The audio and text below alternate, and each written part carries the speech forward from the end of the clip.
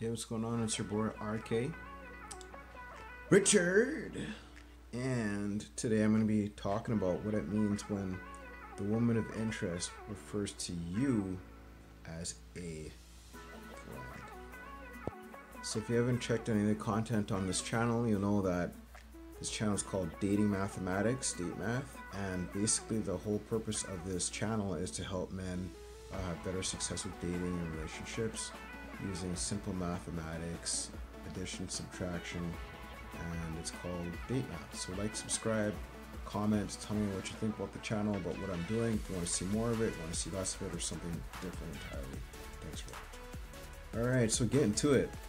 The woman of interest that you're talking to refers to you as a friend. Now, I could probably make at least a dozen videos on this subject at hand about what it means to be a friend or being put into the so-called friend zone, which isn't something that a woman puts you into. It's actually a social construct that men have put ourselves into. We, have categorized the friend zone. The friend zone doesn't exist unless you want it to exist. Friend zone is essentially a place that men who want a particular woman that they can't get created to it's kind of like um like a finger point or a place to be like yeah it didn't work out so she friend zoned me. Yeah i'm in the friend zone. It, it really doesn't matter. But i digress and i'm not going to go into full depths and details as to what i think about the friend zone. So if a woman of interest refers to you as a friend sorry dude but that's minus one point.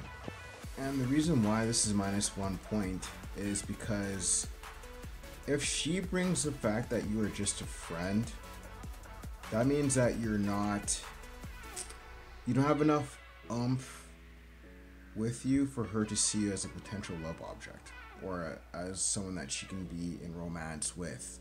You just haven't quite hit that level yet. So is being a friend a bad thing? Yes and no. But if you're looking for the sense of trying to progress it to a way where you're going to be getting affection and some love from her or something physical, it's not a good thing for that specific circumstance.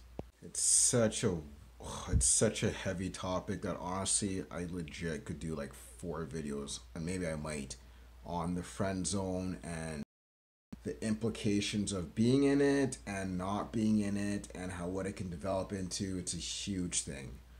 But um, i'll just leave it at what it is right now. So like comment subscribe and tell me what you think about the friend zone. I'd like to hear your thoughts in the comments